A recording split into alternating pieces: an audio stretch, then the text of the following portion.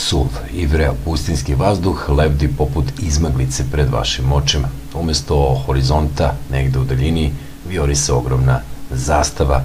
Te kada iz bezbrižnog okruženja oaze Salah krenete na jug, shvatate da je to beskonačna zatalasana litica koja se u nedogled proteže na obe strane, dok gle god vam seže pogled. Ta kamena zastava je najseverniji bedem planinskog masiva Ahagar. Evo i pet zanimljivih činjenica o inspiracijama za priče iz Hiljadu i jedne noći. Naime, u okeanu Saharskog peska ovaj ogromni kameni masiv površine jednake evropskoj državi Francuskoj, recimo, izgleda kao da lebdi iznad užarenog peska. Sa tri strane je oivičen izuzetno strmim i nepristupačnim liticama, dok se na zapadu postepeno spušta u Tanzeroft, poznat kao zemlja žeđi, ozloglašeno u stvari zbog činjenice da su u njoj skončali nebrojeni nesrećnici, napušteni od strane svojih karavanskih saputnika, kraj sveta. Ovaj ogromni planinski masiv u svom središtu poznatom pod nazivom Atakor je pre mnogo miliona godina doživeo veliko vulkansko pražnjenje, tokom kojeg su reke lave donele enormne količine bazalta debljine 180 do 200 metara. Atmosferske neprilike su od njega vremenom stvorile nepregledne gomile vulkanske šljake, ali i neke nestvarne oblike reljefa tornjevi igle, stogovi i ostali neverovatni oblici fonolita paraju vrelo afričko nebo do visine od preko 3000 metara. Vremenom, razlomljene stene dobile su karakterističan oblik ogromnih orgulja. Ipak, lepota ovih predela ljudskom oku samo je privid.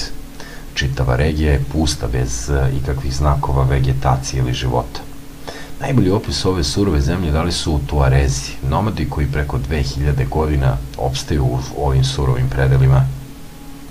Njihov naziv Askrem, koji se može prevesti kao kraj sveta, dovoljno govori sam za sebe. Kiša na Ahagaru pada izuzetno redko i u veoma malim količinama.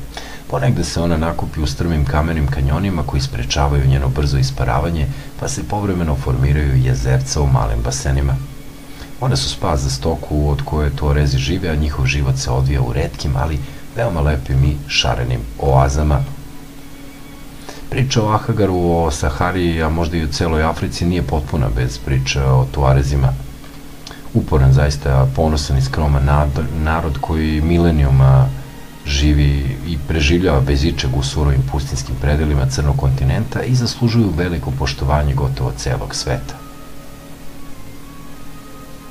Muškarci iz ovog plemena su mahom visoki i crne puti i obaveze su da od puberteta do kraja života nose veo. Osim što ih štiti od vrelog sunca i suvog pustinskog vetra, pomaže im u odbrani od zlih duhova koji mogu da uđu u telo kroz usta. Od oružja nose dugačke mačeve i noževe, a štitim je od kože belih antilopa. Neki istoričari veruju da su današnji Tuarezi potomci vozača bojnih kola koji su poreklom iz Libije prolazili ovim podnebljem oko hiljadu godina pre nove ere. Sama reč Tuareg se prevodi od boga napušteni, a proizilazi iz činjenice da su dugo odbijali da prime islama, čak i danas odstupaju od njegovih najstrožih pravila. Žene ne nose veo i imaju ogroman uticaj u porodici. Interesantni svetskoj javnosti su postali krajem 19. veka kada su naplaćivali zaštitu karavanima koji su tuda prolazili. Ekspedicija koju je poslala Francuska sa ciljem da istraži potencijalne trase autoputa kroz njihove zemlje napadnuta je tako mujevitom brzinom uprkos primitivnim oružjima da su tuareški ratnici odmah proglašeni nepobedivim. Šta je legenda, šta je istina? Ono što ih u modernim vremenima čini drugačijim jeste poštovanje starih tradicija, ali i nebrojne legende koje se za njih vezuju.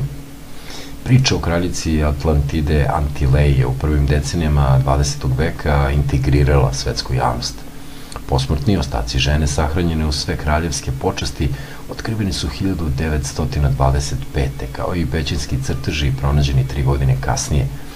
Proglašeni su neoborivim dokazima o postojanju Atlantide i grobnom mestu legendarne im kraljice – A koliko vrelo pustinsko sunce i savlasni oblaci Ahagara lako inspirišu na pričanje priče i stvaranje legendi, možda najbolje govori slučaj Lepe Zade. Ona je inspirisana baš u ovim predelima i na taj način izmišljena priča iz 1001 noći, produživši tako svoj život u zarobljeništvo. Ne zaboravite, nedavno smo pokrenuli naš najnoviji projekat i novi YouTube kanal Serbia Prank.